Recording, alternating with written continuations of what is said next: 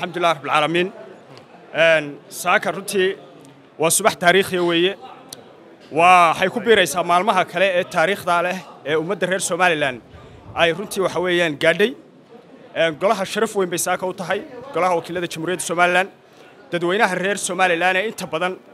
ان بادي قوبا اي قلا وكلا أو كتشوابا درين كشعبكا كتشوابا حيراركا عدالة دا اي السنانت اي وناق اي مدنمضا ومد كوصا ليسان gole ka jawaabana in badan bay runtii shacabka somalilan sugayeen saaka waxaa sugantay oo ansaxay mooshinka aanu isniintii golaha keennay ee runtii sharafta weyn lahaa ee ka turjumayay runtii dal iyo dad si midaysan oo cadaalada khayraadka waddanka yaal iyo waddanka resourcekiisa u kala duwan iyo cashuuraha dadka laga qaado in loo qaybsado xeerkii ka turjumayey mashruuc sharci maaliyadeed baanu keennay saaka waxaa warbaahintuna ay markhaati ka ahayd ummadda somalilanna markhaati ka ahayd inuu xeerkaasi ansaxay.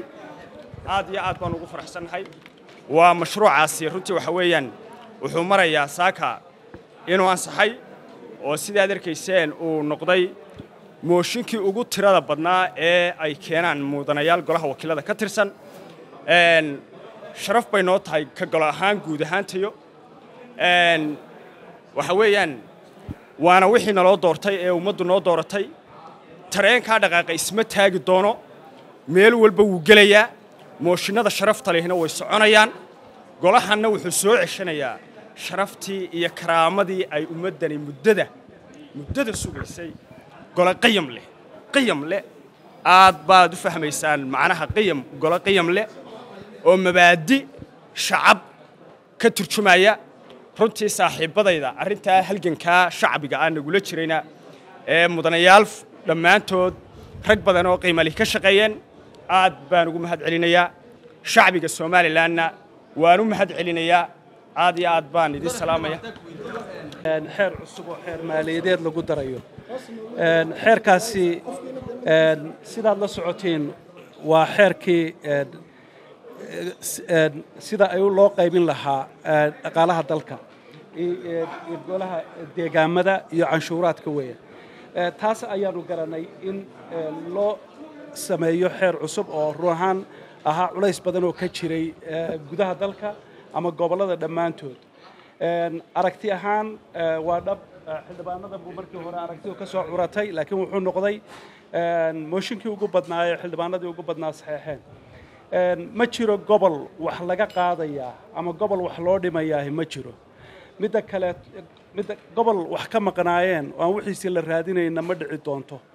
Ma jirto xildhibaano qaran baanu nahay waxaa mas'uul naga saaran yahay gobollada dalka oo dhan oo ay ka mid tahay berbera iyo gebileyba ay ka mid tahay iyo hargeysa boorame iyo sanaag ay dhammaantood ka wada mid yihiin ceerigaabo iyo burco iyo laascaanood.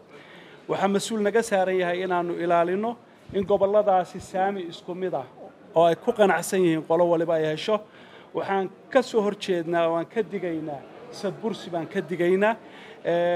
Goluhu saaka markaa xeerkaas weeyaan. Xeerka baadhitaan baa lagu soo samaynayaa waa la daraasaad baa lagu samaynaya waa la dhaqan gelinayaa xeerku weli ma curna. Xeer la curiyey ma aha.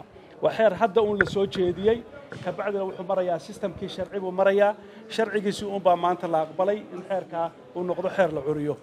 Xeerka waa la curinayaa mudduu qaadanayaa marka la curiyana wuxuu soo gaari doonaa golaha. Markaa ma jirto xeer la ansixiyey weli. Waannu isla eegi doonaa sida aad ka warqabteenna. Waxaa la soo jeediyey in la ballaadhiyo guddiyada.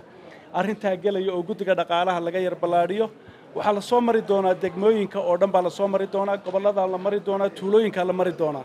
Si uu golaha uga soo baxo xeer waafi ah oo runtii u qalma qarankan aynu dhisanno ee somalilan quruxdiisa u qalma. Nin maqnaa iyo nin joogayba xeerku golahaasu iman doonaa waana la soo curinaya waxaan rajaynaynaa xeer qurux badani inuu golaha inooga yimaado qaranka oo dhani ku qanco